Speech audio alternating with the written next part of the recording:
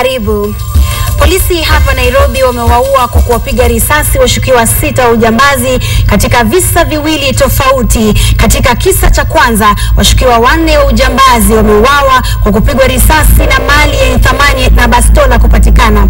Katika kisa cha pili, wamewaua washukiwa wawili wa ujambazi katika mtaa wa Jerusalem, maeneo ya Eastlands, baada ya jaribio la kuliteka gari moja nyara kutibuka. Mwandishi wetu wa habari Victoria Munga ametuandalia zaidi.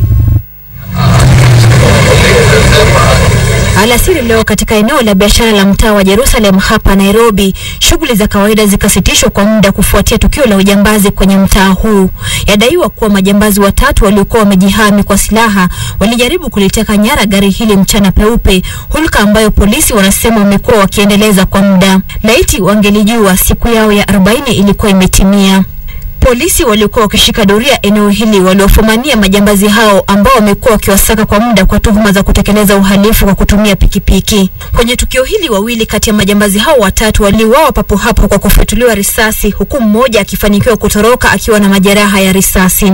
Ni vijana wakati ya umri wa miaka kumi na minane na ishirini ambao wamekuwa wakiwahangaisha wenyeji eneo hili, si kuteka magari nyara, si mauaji ya baadhi ya wakazi na wizi wa mabavu na katika mtaa wa Pangani washukiwa wanne waliokuwa wamepora mali katika nyumba moja mtaani humo wameuawa.